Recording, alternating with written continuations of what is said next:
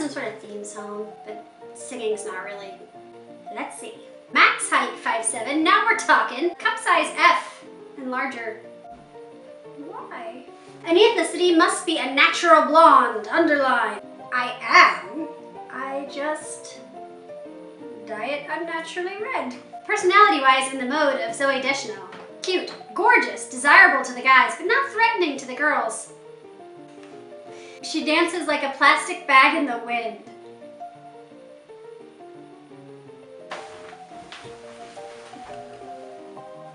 Yeah, I think I, I can nail that. Looking for beautiful model-esque, thin, long blonde or light brown. Strong acting skills, as there will be lines. Charming, personable, and approachable, cannabis-friendly with a knowledge of the medical marijuana slash legal marijuana industry is a plus. I have not come across that breakdown before. Older mother. This is for like a Judge Judy sort of thing. See, I knew those were fake. Proof, guys. Reality shows. Not a single one is real. Comedian. Improv skills a must. Must be well versed in basketball vernacular. Oh, b-ball. Yeah, I know the, I know the b-ball hoops. Female drummer. Female sax player. Female bass guitar player. I am not that cool. Mid to early 30s. Moderately attractive. Dot dot dot. Cute. Commanding type. Prefer mixed race. Okay. For fresh off the boat. Casting short in stature.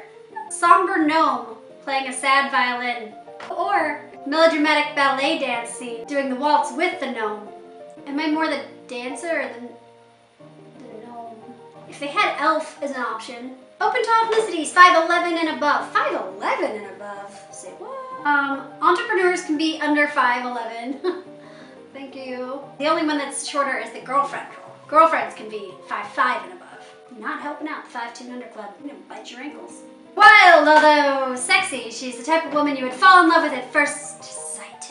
Deep, vulnerable, but hides it with a hard demeanor. An alcoholic addict and cutter. Oh gosh. She's a heroin addict, but trying to stay clean, uh, but can't, and only does in short moments. Kind of girl you want to try to take care of. Yeah, somebody take care of that poor girl. 21 to 34. Screw you, 35 year olds. Must have a great comedy look. Must be able to really play annoying with a hint of lovable. Oh, I have the weirdest job.